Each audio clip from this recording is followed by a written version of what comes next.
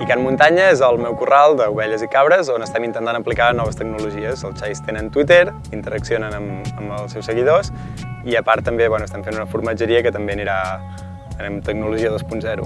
A mi no em ve de família, els meus pares no es dediquen a això, però jo quan era petit vaig decidir que volia ser pastor i els meus pares em portaven amb el pastor de, del poble de Ridaura que aprengués una mica l'ofici i veiés que era molt dur. Què va passar? Doncs que vaig, em va agradar, vaig veure que era dur però em va agradar vaig estar un any al País Basc en una escola de pastors a aprendre l'ofici, una mica més bé, diguéssim, adaptat a, al segle XXI.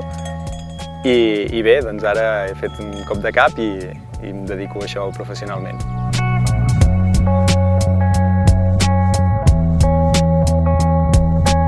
Jo pensava, ostres, doncs, tinguent internet i Twitter i totes aquestes coses, segurament s'ha de poder interaccionar de manera real amb els animals, amb el corral, i, i hi ha d'haver possibilitat de crear aplicacions noves. I bueno, tinc un company que és en Joel, que domina molt el tema noves tecnologies, un jove emprenedor, i li vaig preguntar si era possible de fer aquestes coses, si era possible interaccionar amb els, amb els xais via Twitter i que et donessin dades reals, per exemple, i em va dir sí, som-hi, i dic, bueno, doncs fem-ho. De moment tenim la prova de concepte, que és un tuit en el que tu li preguntes als xais on són i ells et responen amb una imatge del corral en directe.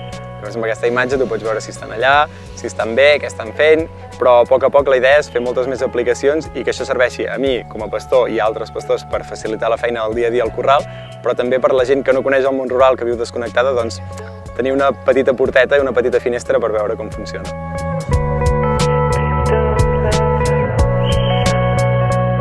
Per mi és molt important el fet de poder estar connectat, perquè jo quan pasturo les ovelles vaig amb el mòbil i estic connectat a, a internet i estàs connectat al món. I això t'obre portes a...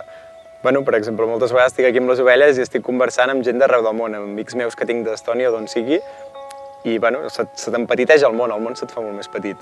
Home, per nosaltres a les zones rurals l'arribada dels smartphones va ser, va ser una revolució, entre cometes, perquè clar, l'accés a internet aquí sol ser bastant precari, moltes vegades és eh, via ones, via satèl·lit, perquè no ens arriba a l'ADSL, i tenir l'accés als smartphones doncs, va ser, va ser un, un esclat de llibertat de poder accedir a internet de manera ràpida i eficaç i a tot arreu. Fins i tot jo, clar, que estic a fora a les ovelles, estic a la muntanya, estic lluny de, de totes les cases, de tot, i tinc accés a internet.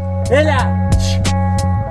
Jo crec que, que qualsevol projecte, de qualsevol mena, però especialment un projecte 2.0, pot funcionar a qualsevol lloc del món perquè precisament per això estem connectats. Vull dir, tu estàs aquí, jo estic aquí amb les ovelles, estic amb el mòbil i estic connectat a tot arreu, per tant, qualsevol projecte d'aquest tipus pot funcionar. I crec que Catalunya en general és un bon lloc per, per començar.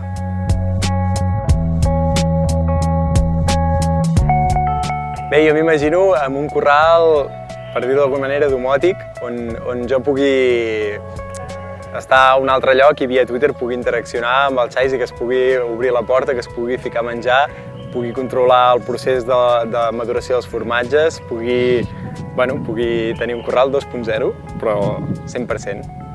És un tema que espero que a poc a poc hi puguem arribar si trobem la inversió necessària.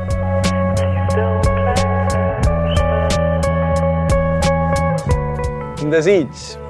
Doncs, doncs, doncs que aquestes tecnologies que estem aplicant aquí puguin servir a altra gent, a altres pastors i, i diguéssim, refundar una mica el món rural.